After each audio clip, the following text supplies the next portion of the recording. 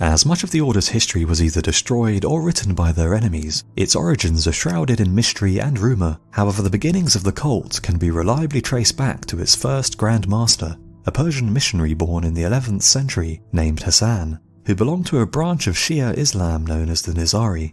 Much of his early life was spent working as a missionary, attempting to spread his sect's version of the faith throughout the Middle East. However, at some point it's believed he used his fame and popularity to found the Order of Hashashin.